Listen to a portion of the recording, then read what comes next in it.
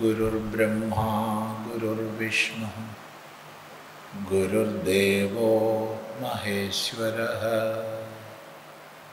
गुरुसाक्षात् परं ब्रह्म। तस्मै श्रीगुरवे नमः। ॐ सदाशिवसमारम्भाम् शङ्कराचार्यमध्यमाम् अस्मदाचार्यपर्यन्तां वन्दे ഗുരുപരമ്പര നമ്മൾ വിവേക ചൂടാമണിയിൽ മൂന്ന് ശ്ലോകമാണ് ശ്രദ്ധിച്ചത്.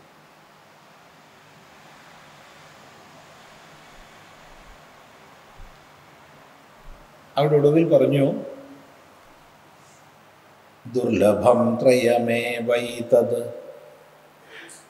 ദൈവാനുഗ്രഹഹേതുകം മനുഷ്യത്വം മുമുക്ഷുത്വം മഹാപുരുഷ സംശ്രയ കഴിഞ്ഞ പ്രാവശ്യം നമ്മൾ വിശദമായി പറഞ്ഞിട്ടുണ്ട് ഈ മൂന്നെണ്ണം വളരെ ദുർലഭമാണ്. ഈ മൂന്നും അതീവ ദുർലഭമാണ് ഏത്? മനുഷ്യത്വം മുമുക്ഷുത്വം മഹാപുരുഷ സംശയം മനുഷ്യനാവുക എന്നുള്ളത് അത്യന്ത ദുർലഭം. മനുഷ്യ ആകാരത്തിൽ ഒരുപാട് പേരുണ്ടാവും. മനുഷ്യരൂപത്തിൽ മനുഷ്യ ശരീരത്തിൽ ഒരുപാട് പേരുണ്ടാവും. മനുഷ്യ ശരീരത്തിൽ മനുഷ്യരൂപത്തിൽ അനേകം പേരുണ്ടാവും. പക്ഷെ മനുഷ്യത്വം അതീവ ദുർലഭമാണ്. ഇവിടെ നമ്മൾ ശ്രദ്ധിക്കേണ്ടത് ഓരോ കാലഘട്ടത്തിലും ഈ കാലം വളരെ മോശമാണ്. ഇന്ന് ആൾക്കാരൊക്കെ വളരെ മോശമാണ്. ഓരോ തലമുറയും പറയും.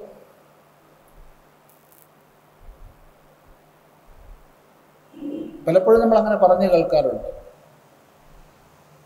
അങ്ങനെ പറയേണ്ട ഒരു ആവശ്യമില്ല. എല്ലാ കാലവും ഒരുപോലെ തന്നെയാണ് എല്ലാ കാലവും ഒരുപോലെയാണ് ഇന്ന് തലമുറ വളരെ മോശമാണ്. ഒരു മൂല്യബോധവും ഇല്ല.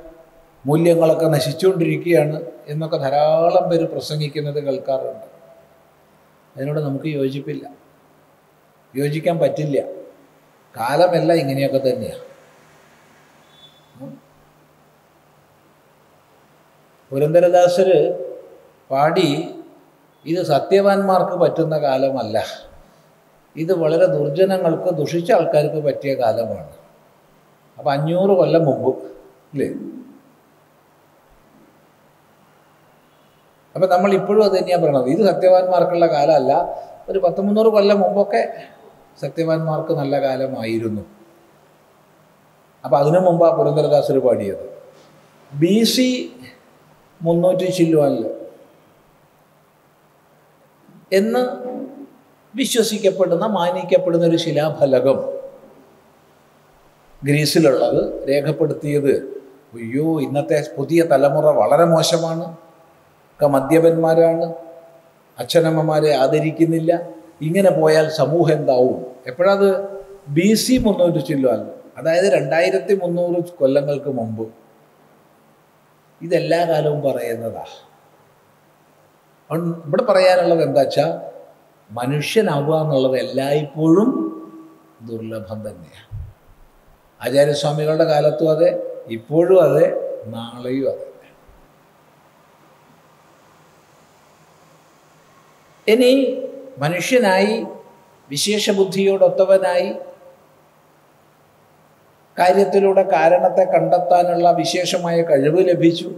ഒക്കെ ശരിയാണ് പക്ഷേ തത്വവിജ്ഞാനത്തിലൂടെ സർവദുഃഖ നിവൃത്തിയാകുന്ന ജീവിത ലക്ഷ്യത്തിലേക്ക് ഉയരണം മുക്തി കൈവരണം എന്ന കാഴ്ചപ്പാട് വളരെ ചുരുക്കം പേർക്കേ ഉണ്ടാവുള്ളൂ പൊതുവെ ഭൂരിഭാഗം സമൂഹവും ബാഹ്യ വിഷയാസക്തന്മാരായിട്ടാണ് പോവുക.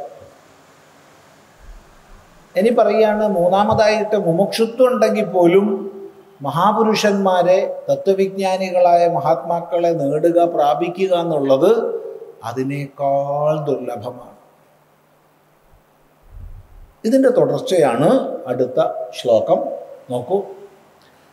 ലബ്ധ്വാ കഥഞ്ചിന്നരജന്മദുർലഭം തത്രാപി പുംസ്ത്വം ശ്രുതിപാരദർശനം യസ്വാത്മമുക്തിയൈ നയതേത മൂഢധീ സഹ്യാത്മഹ സ്വം വിനിഹന്ത്യ സഗ്രഹാത് ലബ്ധ്വാ കഥഞ്ചിന്നരജന്മദുർലഭം തത്രാപി പുംസ്ത്വം ശ്രുതിപാരദർശനം യസ്വാത്മമുക്തിയൈ നയതേത മൂഢധീ സഹ്യാത്മഹ സ്വം വിനിഹന്ത്യ സദ്ഗ്രഹാത്. കഥഞ്ചിത്. കഥഞ്ചിത് എങ്ങനെയെങ്കിലും ചൽ എങ്ങനെയോ. എന്താ ഈ കഥഞ്ചി എന്നുള്ളൊരു അർത്ഥം നമുക്ക് പിന്നെ ചിന്തിക്കാം. എങ്ങനെയോ. ദുർലഭം നരജന്മ ലബ്ധ്വ. അതീവ ദുർലഭമായ മനുഷ്യജന്മത്തെ ലഭിച്ചിട്ടും ലബ്ധ്വാ ലഭിച്ചിട്ടും. തത്രാപി അതിൽ തന്നെ മനുഷ്യജന്മത്തിൽ തന്നെ പുംസ്ത്വം പുരുഷഭാവവും കൈവന്നു. ശ്രുതിപാരദർശനം ശ്രുതിയുടെ പാരത്തെ ദർശിക്കാനുള്ള സാധ്യത കൈവന്നു. വേദത്തിന്റെ പാരത്തെ അറ്റത്തെ കാണുവാനുള്ള കഴിവ് കിട്ടി. എന്നിട്ടും അപ്പം എന്തൊക്കെ വേണോ മുക്തിക്ക് അതൊക്കെയായി. എന്നിട്ടും യഹ യാതൊരാളാണോ സ്വാത്മമുക്തിയായി തന്റെ മുക്തിക്കായിക്കൊണ്ട് നയത്തേത പ്രയത്നിക്കാത്തത്. സഹ മൂഢധീ അവൻ മൂഢബുദ്ധിയാണ്. എന്ന് മാത്രമല്ല ആത്മഹ തന്നെ സ്വയം കൊല്ലുന്നവനാണ്. തന്നെ സ്വയം കൊല്ലുന്നവനാണ്.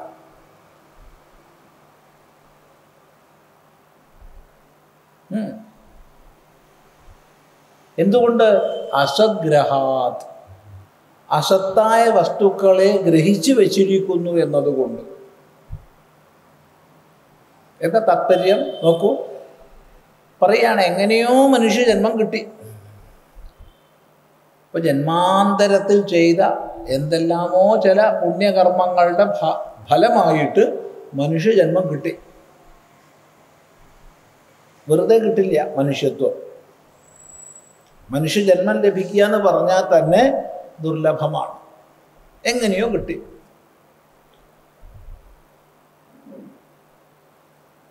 അപ്പൊ എങ്ങനെയോ കിട്ടി പറഞ്ഞാൽ ഏതൊരു മനുഷ്യനും അല്ലെങ്കിൽ ഏതൊരു വ്യക്തിയും ഏതൊരു ജന്തുവും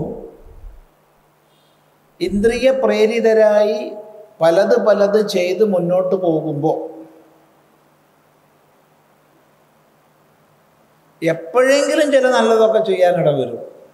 നല്ലത് ചെയ്യണമെന്ന് വിചാരിച്ചിട്ടൊന്നുമല്ല. ഒരു പ്രവാഹപതിതമായിട്ട് വന്നു ചേരുന്ന കർമ്മങ്ങളിൽ തന്നെ ചിലതൊക്കെ അങ്ങ് നന്നായി അത് നല്ലത് ചെയ്യണമെന്ന് വിചാരിച്ചിട്ടൊന്നും ആയിരിക്കില്ല. എന്നാലും നല്ല ചില ഫലങ്ങൾ സമൂഹത്തിനുണ്ടാവും. മറ്റുള്ളവർക്കുണ്ടാവും. അങ്ങനെ ചില പുണ്യകർമ്മങ്ങൾ എങ്ങനെയൊക്കെയോ ദുർജനങ്ങൾ പോലും ചെയ്തു പോകും. അതിന്റെ ഫലമായിട്ട് കൂടുതൽ ഉയർന്ന മനുഷ്യജന്മം ലഭിക്കും. ആ ജന്മത്തിൽ ചെയ്യുന്ന സത്കർമ്മങ്ങളുടെ ഫലമായിട്ട് കൂടുതൽ ഉയർന്ന മനുഷ്യജന്മം ലഭിക്കും. അങ്ങനെ കർമാധികാരിയായ മനുഷ്യൻ ശരിയായ മനുഷ്യനായിട്ട് ജനിക്കും. ഈ ശരിയായ മനുഷ്യൻ എന്ന് പറയുമ്പോൾ മനുഷ്യത്വത്തോട് കൂടിയവൻ എന്നർത്ഥം.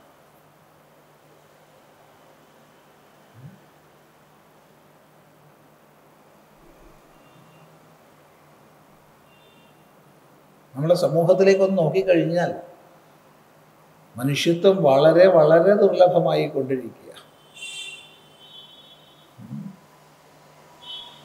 കഴിഞ്ഞ പ്രാവശ്യം നമ്മൾ പറഞ്ഞിട്ടുണ്ട് കൂട്ടം കൂടി തെരുവ് പട്ടികൾ കടിച്ച് ഒരമ്മയെ പിച്ചി ചീന്തുകയാണ്.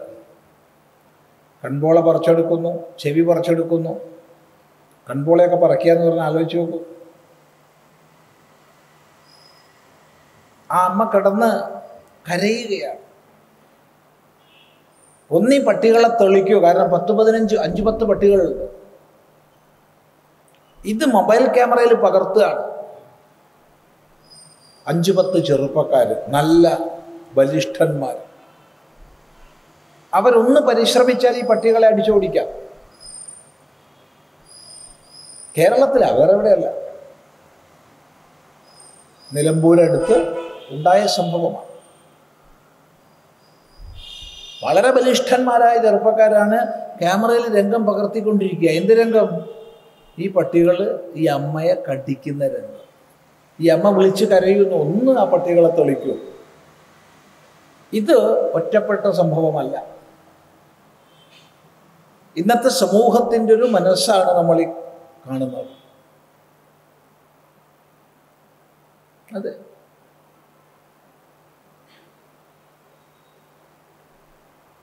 മനുഷ്യൻ ദുർലഭമായ വസ്തുവായി മാറുന്നു. എങ്ങനെയോ മനുഷ്യജന്മം കിട്ടി. മനുഷ്യജന്മം കിട്ടിയിട്ട് ഈ രൂപം കിട്ടി നല്ല അർത്ഥം മനുഷ്യത്വം കിട്ടി. എന്നിട്ടോ തത്രാപി പുംസ്ത്വം. അത് നേരത്തെ പറഞ്ഞു അത്. ആചാര്യസ്വാമികളുടെ കാലഘട്ടത്തിൽ ഗുരുകുല വിദ്യാഭ്യാസത്തിനുള്ള സാധ്യത പുരുഷന്മാർക്ക് പരിമിതമായിരുന്നിരിക്കാം. വേദപാഠത്തിന് പുരുഷന്മാർക്ക് അധികാരം. ഇന്നും അതൊക്കെ തന്നെ വാദിക്കുന്നവരുണ്ട് ധാരാളം പേര്.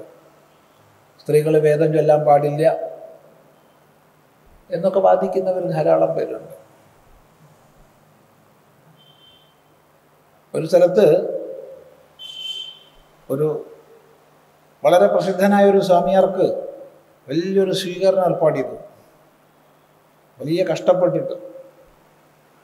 അങ്ങനെ ആയിരക്കണക്കിന് ആൾക്കാർ ഒത്തുകൂടി. ഈ സ്വാമിയാരെ സ്വീകരിക്കാൻ വേണ്ടി. അങ്ങനെ സ്വാമിയാരെ അങ്ങനെ വരിക കേട്ടോ. പരിപാടി സ്ഥലത്തേക്ക് കാറിൽ അങ്ങനെ വരിക. അപ്പോൾ ഈ പരിപാടിയുടെ ഭാഗമായിട്ട് ചില ലൗഡ് സ്പീക്കറുകൾ കെട്ടിയിട്ടുണ്ട് റോഡ് സൈഡിൽ അതിലൂടെ സ്ത്രീ ശബ്ദത്തിൽ ഗായത്രി മന്ത്രം ചൊല്ലുന്നതാണ് കേൾക്കുന്നത്. എന്നിട്ട് സ്വാമി കാറ് നിർത്താൻ പറഞ്ഞു തിരിച്ചു വിടാൻ പറഞ്ഞു. മഹാപാപം. സ്ത്രീകൾ ഗായത്രി ചൊല്ലേ ആലോചിച്ച് നോക്കൂ. ഈ വീക്ഷണങ്ങളുള്ളവർ ഇന്നുണ്ട്. എന്നും ഉണ്ടാവും വാസ്തവത്തിൽ വേദത്തിൽ അങ്ങനെ ഒരു തരംതിരിവ് നമുക്ക് കാണാനില്ല. പുരുഷന്മാരായ ഋഷിമാരെ പോലെ തന്നെ സ്ത്രീകളായ ഋഷികകളുണ്ട്. ബ്രഹ്മവാദികളോടൊപ്പം ബ്രഹ്മവാദിനിമാരുണ്ട്. വേദത്തിൽ പരമമായ ബ്രഹ്മചർച്ച നടക്കുന്ന വേദികളിൽ ബ്രഹ്മവാദിനികളുണ്ട് എന്തിന്? വേദം പോലും ശ്രുതി ഭഗവതിയാണ്.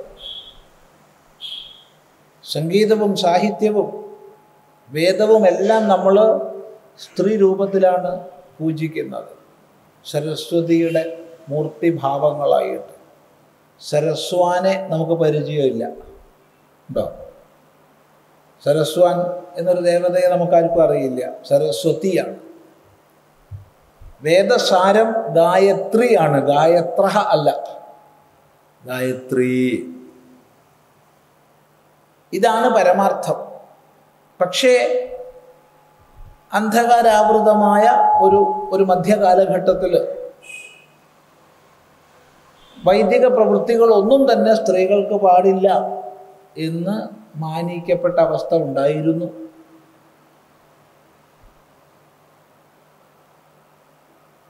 പരമാർത്ഥമാണ്. അപ്പം ആ ഒരു സമൂഹ പശ്ചാത്തലത്തിൽ അല്ലെങ്കിൽ സാമൂഹ്യ സ്ഥിതിയിൽ ഇരുന്നു കൊണ്ട് എഴുതുമ്പോൾ എന്തു തന്നെയാണെന്ന് വെച്ചാലും പുരുഷന് വേദപഠനം തുടങ്ങിയവയിൽ സാധ്യത കൂടുതലുള്ളത് കൊണ്ട് എങ്ങനെയോ മനുഷ്യജന്മം കിട്ടി. തത്രാഭിപുംസ്തോ അതിൽ തന്നെ പുരുഷഭാവം ലഭിച്ചു.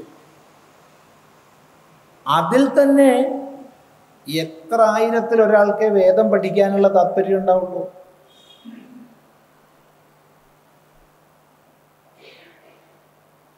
എത്ര ആയിരത്തിൽ ഒരാൾക്ക് വേദം പഠിക്കാനുള്ള ശേഷി ഉണ്ടാവുള്ളൂ? താല്പര്യം മാത്രം ഉണ്ടായിട്ട് കാര്യമില്ല. നമുക്കൊക്കെ പലതിലും താല്പര്യം ഉണ്ടാവും. പക്ഷെ അതിലൊക്കെ നമുക്ക് ശേഷി ഉണ്ടായിക്കൊള്ളണം എന്നില്ല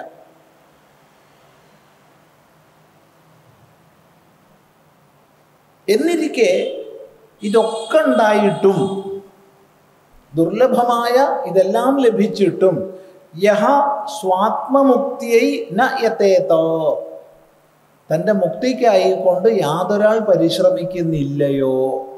ഇതൊക്കെ ഉണ്ടായിട്ടു. സ അവനെ പറയാണ് മൂഢധി മൂഢമായ ബുദ്ധിയോടുകൂടിയവൻ അവൻ മോഹിക്കപ്പെട്ട ബുദ്ധിയോടൊത്ത ആളാണ്. കാര്യാകാര്യ വിവേചനം അവന് നഷ്ടപ്പെട്ടിരിക്കുകയാണ്. നമുക്ക് ലഭിക്കേണ്ടതും അല്ലാത്തതും തിരിച്ചറിയാൻ കഴിയുന്നില്ല. അപ്പം നമ്മുടെ സവിശേഷത എന്താണ്? ഒരു മനുഷ്യന്റെ സവിശേഷത എന്താണ്? നമുക്ക് സവിശേഷതയുണ്ട് സാമാന്യതയുമുണ്ട്. ഇപ്പം സാമാന്യമായിട്ട് നമുക്ക് മറ്റ് ജന്തുക്കൾക്കുള്ളതൊക്കെ ഉണ്ട്. പക്ഷെ വിശേഷമായിട്ട് മനുഷ്യനെന്തുണ്ട് അപ്പം അത് തിരിച്ചറിഞ്ഞ് അതിനനുസരിച്ച് ജീവിതം കെട്ടിപ്പടുക്കുമ്പോൾ സാധിക്കുമ്പോൾ നമ്മൾ ധന്യതയായി.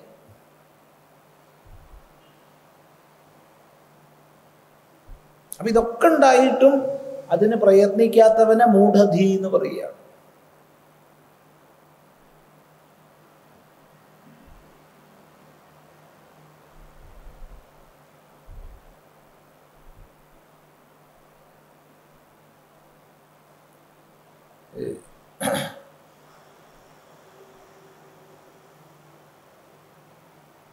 ശ്രീരാമകൃഷ്ണ പ്രസ്ഥാനത്തിൽ. അതിന്റെ ആദ്യത്തെ പ്രസിഡന്റായിരുന്നു ബ്രഹ്മാനന്ദ സ്വാമികൾ.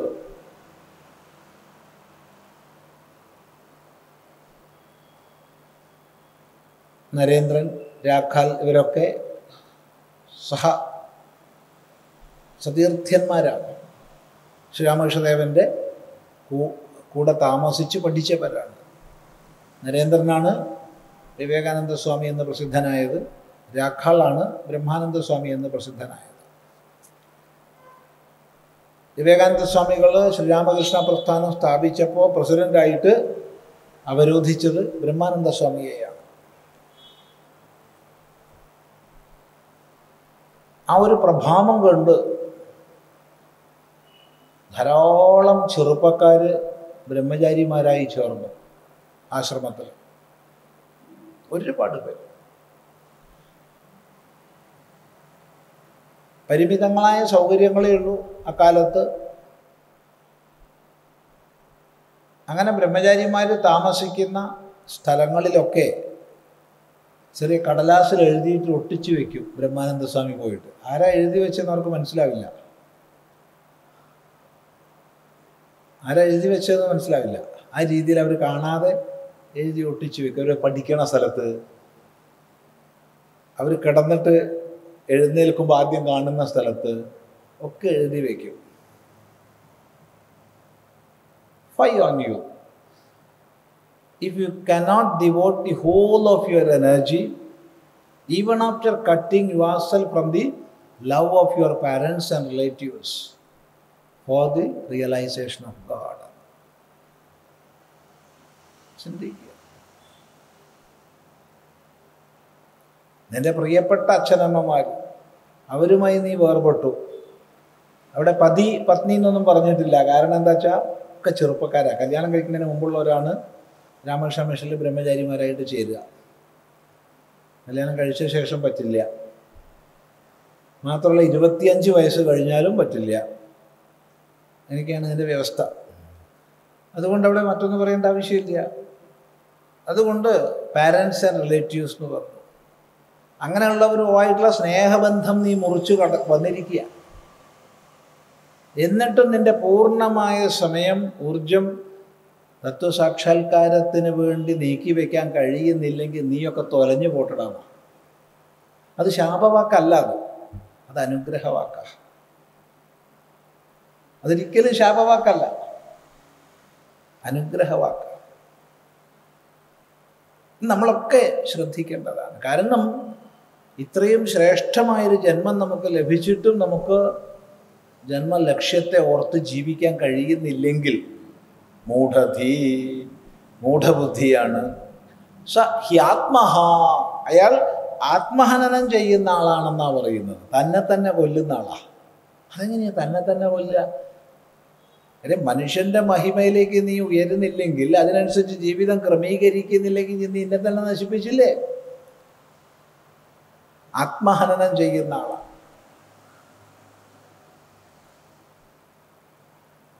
ഉപനിഷത്തിൽ ഈശാവാസ്യ ഉപനിഷത്തിൽ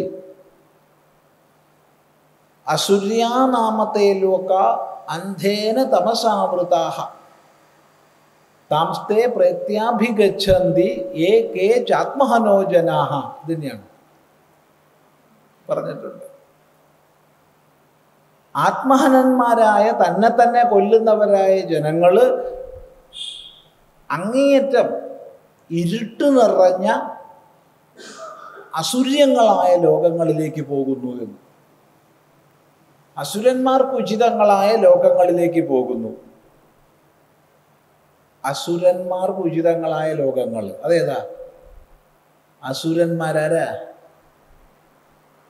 നമ്മൾ പ്രത്യേക രൂപങ്ങളൊക്കെ കൽപ്പിച്ചെന്ന് വരും. ചിത്രകഥകളൊക്കെ കണ്ട് ശീലിച്ചവരാ നമ്മൾ ചില ദംഷ്ട്രങ്ങൾ ഇല്ലേ? ഒക്കെ ഉണ്ടാവും.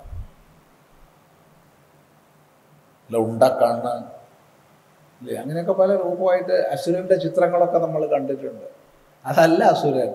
അസുഷു രമതേ ഇതി അസുര അസുക്കളിൽ പ്രാണങ്ങളിൽ മാത്രം രമിച്ചു കഴിയുന്നവരെയാണ് അസുരന്മാരെന്ന് പറയുക.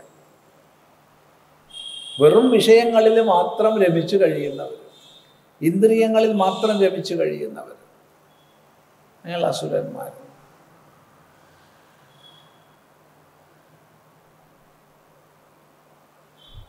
ശ്രദ്ധിക്കുക.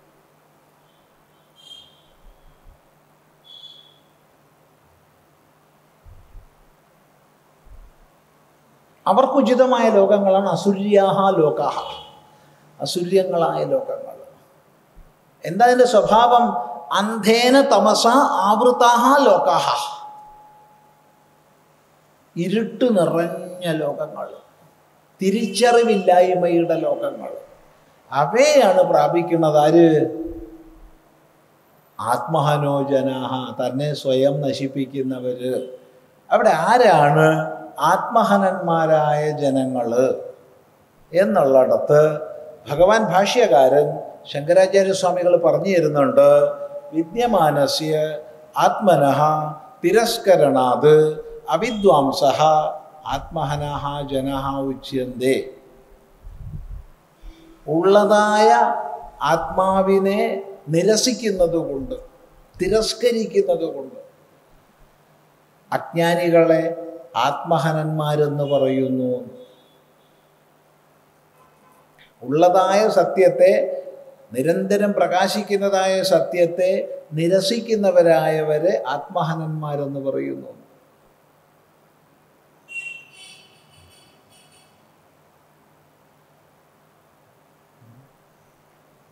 ഇപ്പോൾ ഇത് പറഞ്ഞപ്പോൾ ഓർമ്മ വന്നത് രണ്ട് സന്ദർഭങ്ങളാണ് ഒന്ന് പഴയ ഒരു സന്ദർഭം. മറ്റൊന്ന് ഈ കഴിഞ്ഞ ആഴ്ച കേട്ട സന്ദർഭം. രണ്ടിനും സമാനത ഉള്ളത് കൊണ്ട് പറയാം. ഒന്ന് വളരെ വർഷങ്ങൾക്ക് മുൻപാണ്. ഒരാൾ പത്താം ക്ലാസ് പാസ്സായി. ഇനി കോളേജിൽ ചേരണം. അപ്പം ജാതീയമായ ചില ആനുകൂല്യങ്ങളുണ്ട്. റിസർവേഷനൊക്കെ ഉണ്ട്. അതുകൊണ്ട് കിട്ടും. മാർക്ക് വളരെ കുറവാണ്. കഷ്ടി പാസ്സാണ്. എന്നാലും കിട്ടും. അഡ്മിഷൻ കിട്ടുന്ന ഉറപ്പ്. ആ കാലത്ത് കഷ്ടി പാസ് തന്നെ വളരെ വലിയ പാസ്സാണ് പത്താം ക്ലാസ്സിൽ. ആകെ ഒരു സ്കൂളിൽ ഒരാൾ രണ്ടാളൊക്കെ ഉണ്ടാവുള്ളൂ ഫസ്റ്റ് ക്ലാസ് മേടിക്കണത്. ആ കാലമാണ് ഏതായാലും ഇപ്പോൾ കോളേജിൽ ഇയാൾ അപേക്ഷ കൊടുത്തു. അപ്പം അപേക്ഷ കൊടുക്കുമ്പോൾ പേര് ഇയാളുടെ പേര് ഇയാൾ മാറ്റി. അതിന് മുമ്പ് തന്നെ മാറ്റിയിട്ടുണ്ട്. അവന് കുഴപ്പമില്ല. പത്താം ക്ലാസ്സിൽ സർട്ടിഫിക്കറ്റ് വരുമ്പോഴത്തേക്ക് ഇയാളുടെ പേര് മാറിയിട്ടുണ്ട്. അന്നൊക്കെ അങ്ങനെയാണല്ലോ. അതൊക്കെ സാധിക്കുമായിരുന്നു. ഇല്ല? അതെ. പക്ഷെ അച്ഛന്റെ പേര് അച്ഛന്റെ പേര് തന്നെയാണല്ലോ. അത് മാറ്റാൻ ഇയാൾക്ക് പറ്റില്ലല്ലോ. അപ്പം അച്ഛന്റെ പേരൊരു സുഖല്യ പോര പരിഷ്കാരത്തിന് ചേരാത്ത പേരാ. അച്ഛന്റെ പേര് ചെള്ളി എന്നാണ് അച്ഛന്റെ പേര്. അപ്പം ഇയാൾ എന്ത് ചെയ്തു ആ സ്ഥലത്ത് ഒരു പത്രാസ് പേര് അങ്ങോട്ട് എഴുതി. കുമാരനോ? അങ്ങനത്തെ ഒരു പേര് എഴുതി. ഗോപാലനോ കുമാരനോ അങ്ങനത്തെ ഒരു പേര് എഴുതി. ഇത് കഥയെല്ലാം ഉണ്ടായ സംഭവമാണ്. അങ്ങനെ കോളേജിൽ പോയി അപ്പം അച്ഛൻ വേണമല്ലോ ഇന്റർവ്യൂവിന് പോകുമ്പോൾ അഡ്മിഷന് അപ്പം നാട്ടിൽ നിന്ന് വേറൊരാളെ കൂട്ടി. വേറൊരാളെ കൂട്ടിയിട്ട് നിങ്ങളെന്റെ അച്ഛനാണ് ഓ സമ്മതിച്ചു. അന്ന് അഞ്ച് രൂപയാണ് ഏർപ്പാട്. അഞ്ച് രൂപയ്ക്ക് ഇയാൾ അച്ഛനാവാൻ തയ്യാറായി. അപ്പോൾ പേര് ഇന്നതാണ് നിങ്ങളുടെ ഓ ഒക്കെ ആവാം. അങ്ങനെ പോയി അഡ്മിഷൻ മേടിച്ചു കോളേജ് അഡ്മിഷൻ കിട്ടി. എങ്ങനെയോ അച്ഛൻ അറിഞ്ഞു. എങ്ങനെയാണെന്നറിയില്ല. അച്ഛൻ അറിഞ്ഞു ഇത്. അയാൾ സ്കൂളിന്റെ പടി കണ്ട ആളല്ല.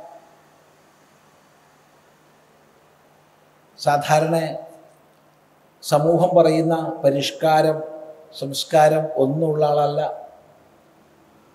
ഈ മരം ലോഡ് ചെയ്യലാണ് പ്രധാന പണി ലോറിയിൽ മരം മുറിച്ച് എടുത്തു കൊണ്ടുവന്ന് അട്ടിയിടുക അവിടുന്ന് ലോറിയിൽ കയറ്റുക. അപ്പോൾ ദേഹം എപ്പോഴും ഒരു മണം ഉണ്ടാവും മരത്തിന്റെ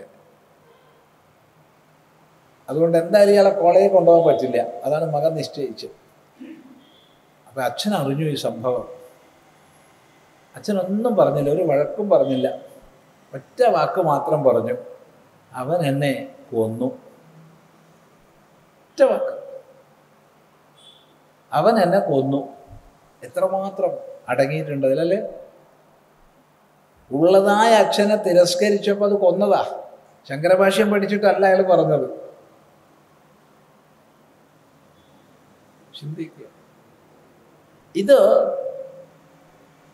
നമുക്കൊക്കെ ചെറുപ്പത്തിലെ അറിയുന്ന വിഷയമാണ് ഈ പറയുന്ന ആൾ ചെറിയ കുട്ടിയായി പറയുന്ന വിഷയമാണ് ഇത്. പക്ഷേ ഈ ആത്മഹനനം നിരന്തരം നടക്കുകയാണ്.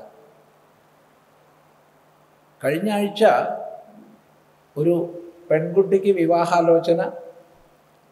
ഇവൾ പോസ്റ്റ് ഗ്രാജുവേഷനൊക്കെ കഴിഞ്ഞ് പ്രൊഫഷണൽ ബിരുദാനന്തര ബിരുദങ്ങളൊക്കെ നേടിയിട്ടുള്ള കുട്ടിയാണ്. ലക്ഷക്കണക്കിന് റുപ്യ പ്രതിമാസം ശമ്പളം മേടിക്കുന്നുണ്ട്. കല്യാണം കഴിച്ചിട്ടില്ല. കുറേ ആലോചന വന്നപ്പോൾ വേണ്ട വേണ്ട എന്ന് പറഞ്ഞു. അങ്ങനെ നീണ്ടുപോയതാണ് അവസാനം എന്നാൽ പിന്നെ കഴിച്ചു കളയാം എന്ന് തയ്യാറായി. അങ്ങനെ ഈ ചെക്കനെ കാണുക അങ്ങനെയൊക്കെ ഉണ്ടല്ലോ. പരസ്പരം കാണുക എന്നുള്ള ചടങ്ങൊക്കെ ഉണ്ടല്ലോ. അപ്പോൾ കണ്ടപ്പോൾ രണ്ടാക്കും പരസ്പരം ഇഷ്ടമായി എന്നാലാവാം എന്നായി. അപ്പോൾ ഇവൾക്കൊറ്റ ഡിമാൻഡേ ഉള്ളൂ. എന്താ ഡിമാൻഡ്? ഡസ്റ്റ്ബിൻ പാടില്ല. വീട്ടിൽ ഡസ്റ്റ്ബിൻ പാടില്ല. ഡസ്റ്റ്ബിൻ നമുക്കറിയാമല്ലോ എന്താണ് ഇവനൊന്നും മനസ്സിലായില്ല. എന്ത് ഡസ്റ്റ്ബിൻ പാടില്ല എന്ന് നോക്കുമ്പോൾ എന്താ ഡസ്റ്റ്ബിൻ അച്ഛനും അമ്മയാണ്. ഒന്ന് ആലോചിച്ച് നോക്കൂ. നിങ്ങളുടെ അച്ഛനും അമ്മയും പാടില്ല വീട്ടിൽ അതാണ് അവർ ഡസ്റ്റ്ബിന്നാ കാലം കഴിഞ്ഞു.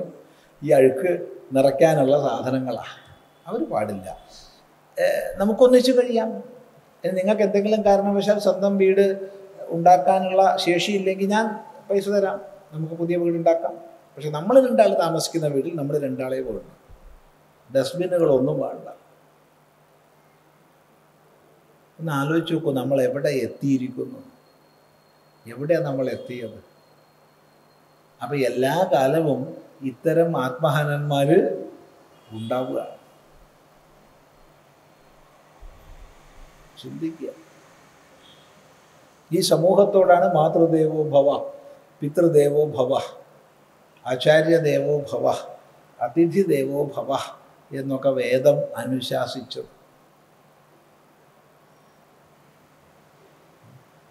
ചിന്തിക്കുക നല്ലതാണ് ചിന്തിച്ചാൽ. അപ്പോൾ ആത്മഹനന്മാരെന്ന് പറഞ്ഞാൽ തന്നെ നിരാകരിക്കുന്നവർ അപ്പൊ തന്നെ നിരാകരിക്കുന്നവരാണ് ഇവർ. ആര്? ഈ മൂഢന്മാര്. എന്തുകൊണ്ടാ തന്നെ നിരാകരിക്കുന്നത്? അസദ്ഗ്രഹാത് സത്തല്ലാത്തതിനെയൊക്കെ പിടിച്ചു വെച്ചിരിക്കുക അപ്പൊ സത്തിനെ പിടിക്കാനുണ്ടോ നേരം? ഉണ്ടോ ഇടം?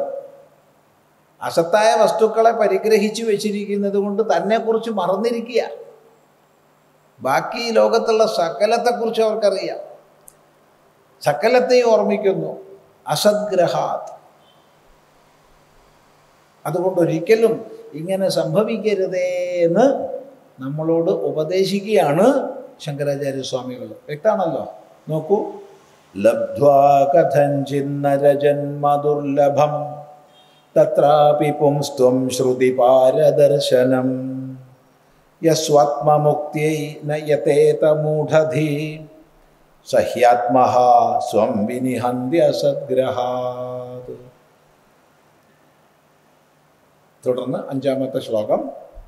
ഇതക്കോന്വസ്തി മൂഢാത്മാ യസ്തു സ്വാർത്ഥേ പ്രമാദ്യത്തെ ദുർലഭം മാനുഷം ദേഹം പ്രാപ്യ തത്രാപി പൗരുഷം.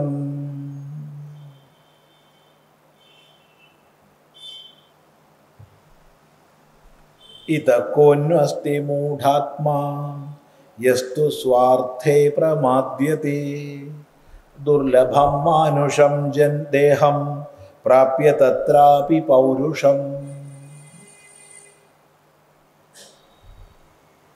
ഇതഹ കഹ മൂഢാത്മാ നു അസ്തി. ഇതിനേക്കാൾ വലിയൊരു മൂഢൻ ആരാ ഉള്ളത്? ഇതിനേക്കാൾ വലിയൊരു മൂഢാത്മാവ് ആരാണുള്ളത്? വെച്ചാൽ ഇല്ല എന്നർത്ഥം ഇവനാണ് ഏറ്റവും വലിയ മൂഢൻ മഹാമൂഢൻ. ആര്? യഹ സ്വാർത്ഥേ പ്രമാദ്യതി സ്വാർത്ഥത്തിൽ പ്രമാദം ചെയ്യുന്നവൻ. മനുഷ്യനായാൽ കുറച്ച് സ്വാർത്ഥം വേണ്ടേ? എന്താ അഭിപ്രായം? പൊതുവേ നാട്ടിൽ പറഞ്ഞു കേൾക്കുക സ്വാർത്ഥം വേണ്ട എന്നാണ് നമുക്ക് യോജിക്കാൻ പറ്റില്ല. സ്വാർത്ഥം ഇല്ലെങ്കിൽ പിന്നെ എന്ത് ജീവിത? സ്വാർത്ഥമാണ് നമുക്ക് വേണ്ടത്. ഇല്ലെങ്കിൽ എന്തിനാ ജീവിക്കുന്നത് സ്വാർത്ഥം ഇല്ലാത്തവർ ഒരിക്കൽ ഒരു ഒരു സന്യാസി വര്യൻ സന്യാസി ശ്രേഷ്ഠൻ അദ്ദേഹം വളരെ പ്രസിദ്ധനായി. അറിവല്ല പ്രസിദ്ധിയാണല്ലോ ഇപ്പോൾ നാട്ടിൽ വലിയ പ്രസിദ്ധിയായി. വലിയ അറിവുള്ള ആളാട്ടുവോ? വലിയ അറിവുള്ള ആളാ. വലിയ മഹാന മഹാനായൊരു സന്യാസിയാണ് ഏതായാലും അദ്ദേഹം ലോകം മുഴുവൻ പ്രസിദ്ധനായപ്പോൾ നാട്ടുകാർ വിചാരിച്ചു. അദ്ദേഹം ജനിച്ചു വളർന്ന നാട്ടിലത്തെ ആൾക്കാർ വിചാരിച്ചു അദ്ദേഹത്തിന് സ്വീകരണം കൊടുക്കാം. അപ്പോൾ വിളിച്ചു ഓ ഞാൻ വരാം. വരുന്നെന്താ അപ്പോൾ ഒരു വലിയ സമ്മേളനം വിളിച്ചു. ഇത് കഥയെല്ലാം ഉണ്ടായതാണ്. അപ്പോൾ സമ്മേളനം വിളിച്ചപ്പോൾ നാട്ടിൽ സ്വാ ഈ അധ്യക്ഷനാക്കുക സ്വാഗതം പറയുക അതൊക്കെ കുറച്ച് വേദിയിൽ സംസാരിക്കാൻ കഴിയുന്നവരെയാണല്ലോ. ഇല്ലേ അതിനൊക്കെ ഏർപ്പാട് ചെയ്യാം. വേദിയിൽ കുറച്ച് പ്രസംഗിക്കാൻ കഴിയുന്ന ആളെ പിടിച്ചിട്ടാണ് സ്വാഗതത്തിനാക്കുക അധ്യക്ഷനാക്കുക. അങ്ങനെയൊക്കെയാണ് അതിന്റെ പതിവ്. ഏതായാലും സ്വാഗതം ചെയ്ത ആൾ പറഞ്ഞു ഇദ്ദേഹം എത്ര വലിയ മഹാനാണ്. ഇത്ര ചെറുപ്പത്തിൽ യൗവനത്തിലേക്ക് കടക്കുന്ന സമയത്ത് തന്നെ വിരക്തനായി സന്യാസമാർഗത്തെ സ്വീകരിച്ചിരിക്കുകയാണ്. ഒട്ടും സ്വാർത്ഥമെന്ന് പറഞ്ഞത് അദ്ദേഹത്തിന് ഇല്ല സ്വാർത്ഥത്തിന്റെ കണികയില്ലാത്ത ഒരു മഹാവ്യക്തിത്വമാണ് അദ്ദേഹം എന്നൊക്കെ പറഞ്ഞിട്ട് പുകഴ്ത്തി സ്വാഗതം പറഞ്ഞു. നമ്മളെ സ്വാമിയാർ എഴുന്നേറ്റിട്ട് ആദ്യം പ്രസംഗിച്ചത് എനിക്ക് ഈ ചുറ്റുപാട് കാണുമ്പോൾ വളരെ ഖേദമാവുകയാണ്. മനുഷ്യന്മാർക്ക് തീരെ സ്വാർത്ഥമില്ലല്ലോ. ഞാൻ സ്വാർത്ഥത്തിന് വേണ്ടി മാത്രമാണ് സന്യസിച്ചത്.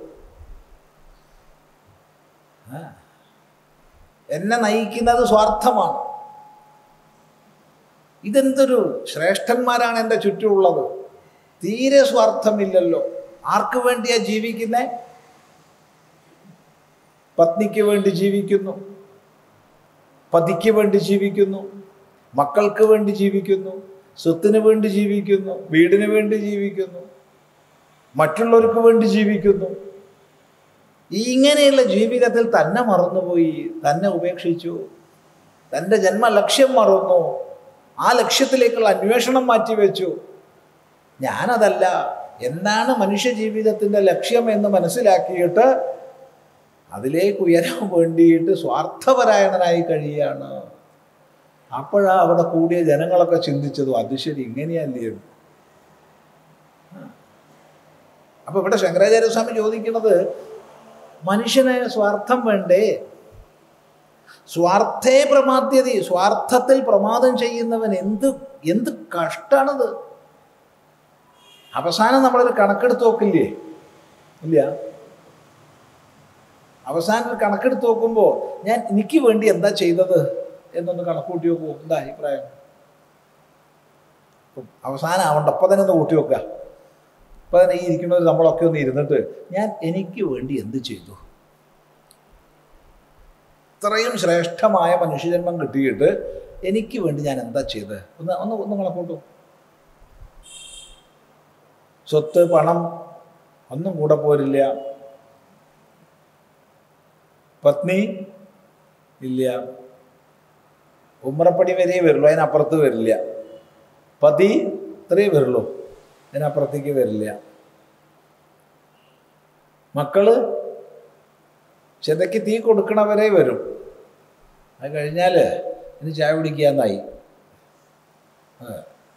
അല്ല വേണ്ടേ പിന്നെ വേണമല്ലോ ഇയാൾ പോയിച്ചിട്ട് അവർക്ക് ചായ കുടിക്കണ്ടേ? അപ്പൊ ആരാ നമ്മളെ കൂടെ വരുന്നേ?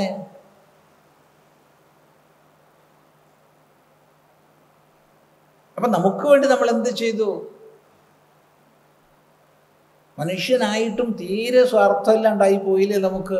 ഒന്ന് ആലോചിച്ച് നോക്കൂ. എപ്പോഴെങ്കിലും നമ്മെക്കുറിച്ചൊന്ന് ആലോചിക്കണ്ടേ?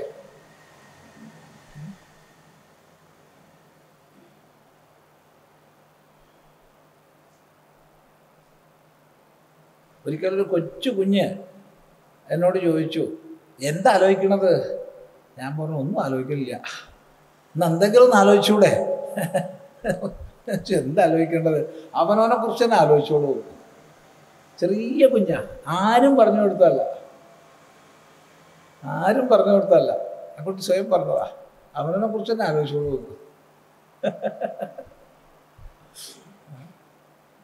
എന്തൊരു മിടുക്കൻ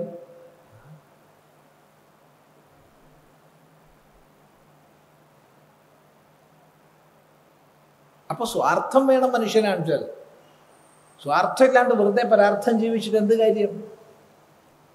നമുക്ക് എത്ര സ്വാർത്ഥമുണ്ടോ അത്രയും ജന്മലക്ഷ്യത്തിലേക്ക് നമ്മൾ ഉയരും. ഇവിടെ സ്വാർത്ഥം എന്താണെന്ന് അറിയണേ. ഇതൊരു പൊതുസഭയിൽ പോയി പറഞ്ഞാൽ ആൾക്കാർ തല്ലി ഓടിക്കും. കാരണം സ്വാർത്ഥം എന്ന് പറയുമ്പോൾ അവർ മനസ്സിലാക്കുന്നത് വേറെ അർത്ഥത്തിലാണ്. അപ്പൊ സ്വാർത്ഥത്തിൽ പ്രമാദം ചെയ്യുക എന്ന് പറഞ്ഞാൽ അതിനേക്കാൾ വലിയ മൂഢൻ ആരാ ഉള്ളത്? ദുർലഭം മാനുഷം ദേഹം പ്രാപ്യോ? ദുർലഭമായ മനുഷ്യദേഹം ലഭിച്ചു. എന്നിട്ട് അതിനെ വേണ്ട പോലെ ഉപയോഗിക്കണില്ലാച്ച തത്രാപി പൗരുഷം. അവിടെയും പുരുഷജന്മം ലഭിച്ചു എന്നിട്ടും എന്ന് പറയുകയാണ്. ഇന്നത്തെ കാലത്ത് ഇപ്പോൾ പുരുഷൻ സ്ത്രീ എന്നൊന്നും പറയരുത് എന്നാ പറയണ കേട്ടുവോ അറിയില്ല. എന്താണ് പക്ഷെ ഇത് മാറ്റി പറയാൻ പറ്റുമോ ശങ്കരാചാര്യ സ്വാമി എഴുതിയതല്ലേ നമുക്ക് വായിക്കാൻ പറ്റുള്ളൂ. അപ്പം പൗരുഷം പുരുഷ ജന്മം ലഭിച്ചു. പൗരുഷ ഗുണങ്ങൾ ലഭിച്ചു. അത് സ്ത്രീക്കായാലും വേണം. പൂർണതയിലേക്ക് ഉയരാനുള്ള അധികാരം ലഭിച്ചു. അതും പൗരുഷമാണ്. അവിടെ സ്ത്രീ പുരുഷ വ്യത്യാസമൊന്നുമില്ല. പുരുഷു ശേതേ ഇതി പുരുഷ. തസ്യ ഭാവം പൗരുഷം എന്ന് പറഞ്ഞു കഴിഞ്ഞാൽ ഈ ശരീരത്തിൽ ശയിക്കുന്ന എല്ലാവരും പുരുഷന്മാരാ. ആത്മാന്നർത്ഥം. ഈ ഒരു പൗരുഷം ലഭിച്ചിട്ടും അതിനെക്കുറിച്ച് ചിന്തിക്കാതെ തന്റെ ജന്മത്തെ വ്യർത്ഥമാക്കി കളയുന്നവർ എത്ര മൂഢന്മാരാണ് എന്ന് ചോദിക്കുന്നത് നമ്മളെങ്കിലും അങ്ങനെ ആവരുതേ എന്ന് പറയാനാ. വ്യക്തമാണല്ലോ? നോക്കൂ. ഇതക്കോന്വസ്തി മൂഢാത്മാ. യസ്തു സ്വാർത്ഥേ പ്രമാദ്യതേ. ദുർലഭം മാനുഷം ദേഹം പ്രാപ്യ തത്രാപി പൗരുഷം. അപ്പോൾ എന്താ ഇനി വേണ്ടത്? ജന്മലക്ഷ്യത്തിലേക്ക് ഉയരണം. അതെന്താ? മുക്തിയാണെന്ന് പറഞ്ഞു. നേരത്തെ പറഞ്ഞു അത് മുക്തിയൈനയത്തേത്ത എന്ന് പറഞ്ഞു. മുക്തിയാണ്. അപ്പം എങ്ങനെയാണ് മുക്തി? എന്താണ് മുക്തി? മുക്തിക്കുള്ള മാർഗം എന്താണ്? പറയുന്നു വദന്തു ശാസ്ത്രാണി യജന്തു ദേവാൻ കുർവന്തു കർമാണി ഭജന്തു ദേവതാഃ ആത്മൈക്യബോധേന വിനാ വിമുക്തി ന സിദ്ധ്യതി ബ്രഹ്മശതാന്തരേപി. വദന്തു ശാസ്ത്രാണി യജന്തു ദേവാൻ. കുർവന്തു കർമാണി ഭജന്തു ദേവതാഹ. ആത്മൈക്യബോധേന വിനാ വിമുക്തി. ന സിദ്ധ്യതി ബ്രഹ്മശതാന്തരേപി.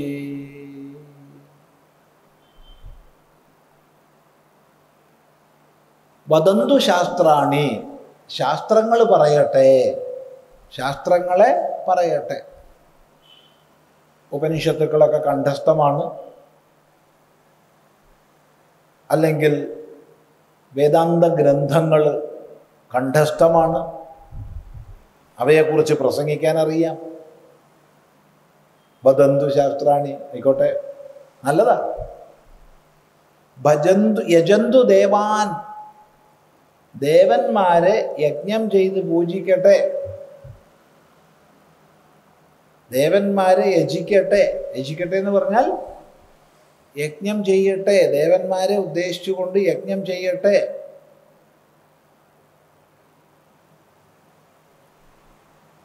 കുറുവന്തു കർമാണി സൽക്കർമ്മങ്ങൾ ചെയ്യട്ടെ. നല്ലതാണ്.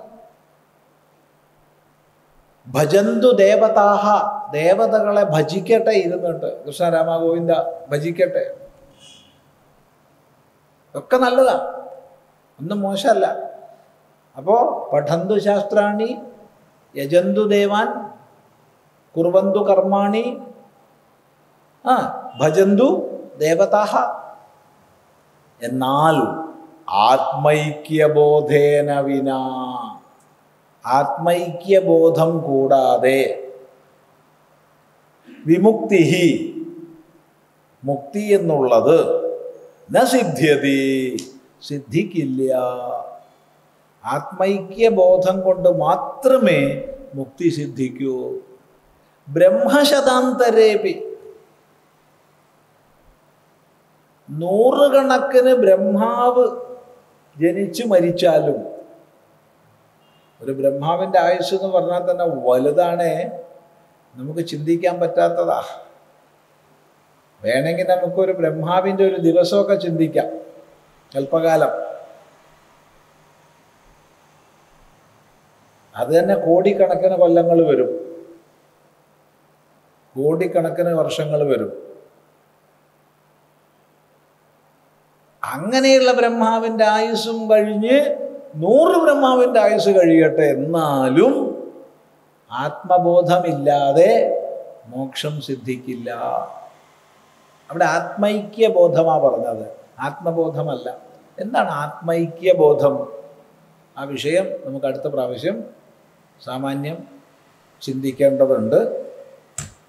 അടുത്ത പ്രാവശ്യം ചിന്തിക്കാം. എന്താണ് ആത്മൈക്യ ബോധം ആത്മബോധവും ആത്മൈക്യ ബോധവും തമ്മിലുള്ള വ്യത്യാസം എന്താണ്? എന്തുകൊണ്ടാണ് ആത്മബോധമാണ് മോക്ഷസാധനം എന്ന് പറയാതെ ആത്മൈക്യ ആത്മൈക്യബോധമാണ് മോക്ഷസാധനം എന്ന് പറഞ്ഞത്? വളരെ വലിയ വിഷയമാണ്.